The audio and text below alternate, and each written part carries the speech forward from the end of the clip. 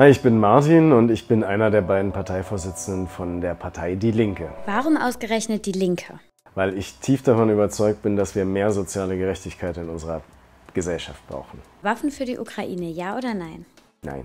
Wie soll der Ukraine denn dann geholfen werden? Diplomatisch, politisch, wirtschaftlich, finanziell und humanitär. Okay, das versucht man ja bisher auch, aber irgendwie hilft es nicht so viel. Der diplomatische Druck äh, ist nicht stark genug und hat bislang noch nicht dazu geführt, dass sich die beiden Kriegsparteien an einen Verhandlungstisch gesetzt haben, um wirklich ernsthaft über einen dauerhaften Frieden zu verhandeln. Und der muss immer stärker werden und immer weiterentwickelt werden. Was haben Sie eigentlich gegen die NATO?